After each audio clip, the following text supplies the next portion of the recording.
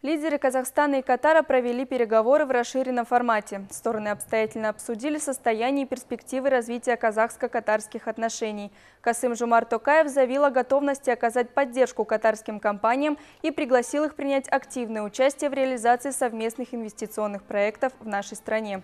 В частности, он указал на наличие возможностей в сферах сельского хозяйства, энергетики, нефтехимии, горнодобывающей промышленности и финансов.